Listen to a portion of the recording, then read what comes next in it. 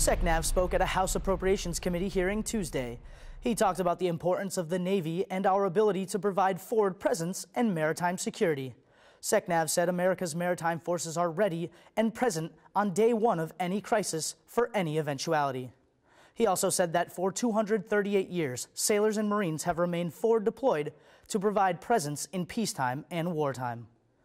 The Navy has made changes to the detailing process. A new NAVADMIN covers how detailers can now write orders to transfer sailors up to six months before or after their projected rotation date. Detailers have the ability to return sailors to sea duty early to improve fleet manning and reduce gaps at sea. Read more about these stories at Navy.mil. From All Hands Update, thanks for watching.